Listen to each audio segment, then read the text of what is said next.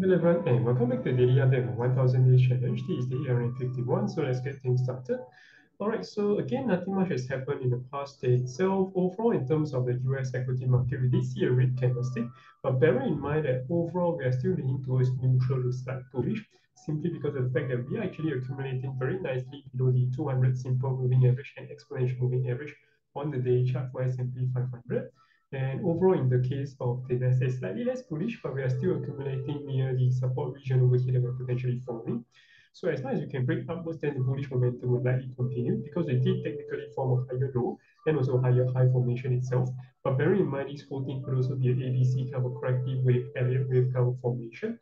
So that is something to bear in mind. So if we do actually break strongly below these two moving averages, then I will lean back towards the bearish side of things, even though we have yet to form a lower low just yet. All right, over in terms of ASHR, it's clearly leading towards the of things because even though we form a high, a higher high, and low, and a higher low, we're actually leaning and breaking clearly since below below the 20 exponential moving average. We try to hover around here, but it lacks actually momentum and strength, which is why I did mention that ASHR is currently like the outlier, which is not behaving like what S&P 500 Nasdaq or even KWEB is behaving right now. So that's definitely something to take caution about. And finally, for KWEB itself, the final traditional financial market that I do look, we do see some sort of potential support, especially at the 20 exponential moving average on the daily chart. So if this could actually in fact turn into supportive itself and accumulate over here, could potentially form a very nice base to actually push towards the upside as well. So that's something that I would like to see. And that could potentially form as well. In the event of the, and finally for Bitcoin itself, for crypto market in general, so we do see a very clear sense of consolidation you do see the volume spike, volume spike, volume spike, volume spike. But other than that, price has remained relatively flat at this 16K region itself. Not necessarily a bad thing to near or short term. I do think that we'll still have a few more days to accumulate, giving time for this 20 exponential moving average on the daily chart to catch up for price to move up. I think it's more likely for the moving average to move down itself.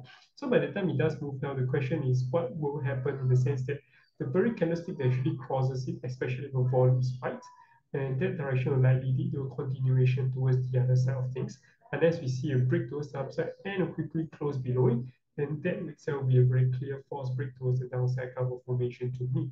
On the other hand, we do break very nicely towards the downside, and there's a clear rejection. There's a clear, clear rejection to the downside. The downside is that I wouldn't have much room to short in terms of entry itself. So what I do actually want in terms of ideal situation for me is a very clear rejection uh, push towards the upside and then a break towards the downside and then we close below the 20 exponential moving average. That's where I'll put a sell stop order below the low of the day candle itself and then a stop loss right above the swing high and then I'll be potentially riding it to the 14k mark as target one and potentially even towards the 11.5k mark as the second target in time. Alright, so with that said, currently I'm just waiting on the sideline. If you guys have any questions, feel free to drop by your comments below. I'll see you guys tomorrow. Take care. Bye-bye.